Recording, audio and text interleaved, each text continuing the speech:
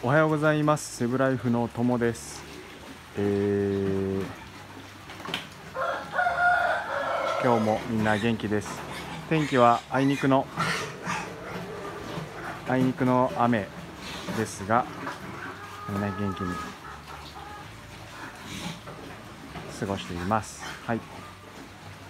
でえー、こっちのね15頭。まああっち今隔離はしているんですが15頭の豚えー、来月10月の最初で生後5ヶ月ぐらいになるのかな、はい、結構ね大きくなってきました。というよりも大きい大きい豚は大きいという感じですかね。小さい、えー、豚はねこの豚とかこの豚とか。小さい豚はまだ小さいままですが大きなねあのー、豚はね結構大きくなってきました。で今まではえー、豚がね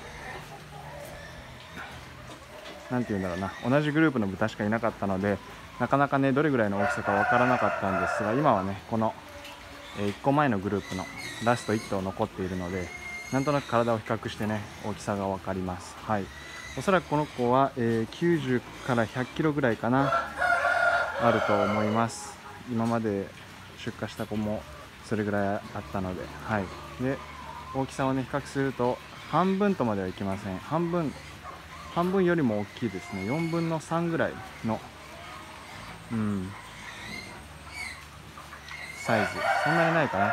5分の3ぐらいのサイズかな。って考えるともうね体重60キロぐらいあるのかなという感じです。はい。そうです。あと、えー、ペニシリンもねあの順調に打って特に薬を打ったからといって、あのー、体がね弱るわけでもなく、えー、そうですね。食欲も旺盛なままで良かったです。この若干ねあの肌の色もまだ炎症っぽい赤みは帯びてますがあの湿疹のねブツブツの感じはねなくなりました。ただ肌が炎症のように赤いという感じですね。はい。最初はねお尻から見えたんですが徐々にこう顔の方に広がっていってで今お尻はね、あのー、赤いだけなんですが顔の周りはまだブツブツがあるという感じですね。あと遊んじゃってます。はい。また後で取りに行きます。この黒斑点の豚も、えー、今週末ですねさばいて村の方に売ってあのいただこうと思います。はい。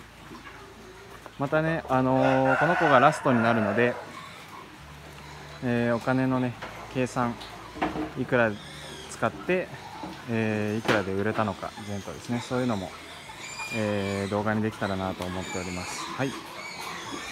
結構ね大きいんですがなかなかねやっぱり動画では伝わらないんですよね。うん。もうなんなら自分の体もね大きな豚この子とか大きいかな。自分の体丸めたらすっぽり入っちゃいそうなぐらい大きいのでもしかしたらもう80キロぐらいあるのかな。それはないかな。お腹空いてる。もうちょっと餌あげます。はい、えー、出荷は10月、まあ、このままね餌をたくさんあげたくさんねお腹いっぱい、えー、あげる状態にすると10月中旬から10月末ぐらいには出荷、えー、もしくはね自分たちでさばいて売ることができる。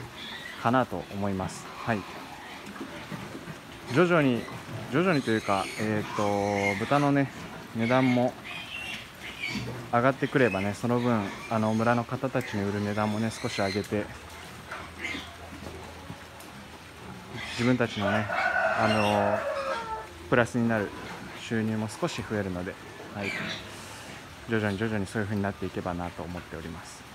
今は本当にえー、山があればこうね一番下った下った一番ねこうなんて言うんだろうな。山のグラフでいうと一番下のところにいるのでここからねまた10月11月12月にかけて、えー、徐々に徐々に豚の価格も上がっていくのかなという感じです。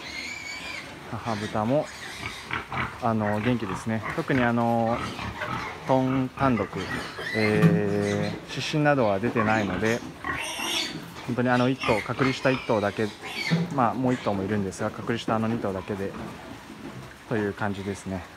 よかったです。はい。ではい。9頭の子豚も結構ね順調に大きくなってもうそろそろ生後、えー、8月2日奥さんの誕生日に生まれたので10月2日で2ヶ月ですね。そろそろね、あのー、この柵が小さく背中でね丸めて丸めてというかねしゃがんで通っているのであそこの部屋が開いたら移動かなという感じです。まだあのー、うん。やっぱこのあの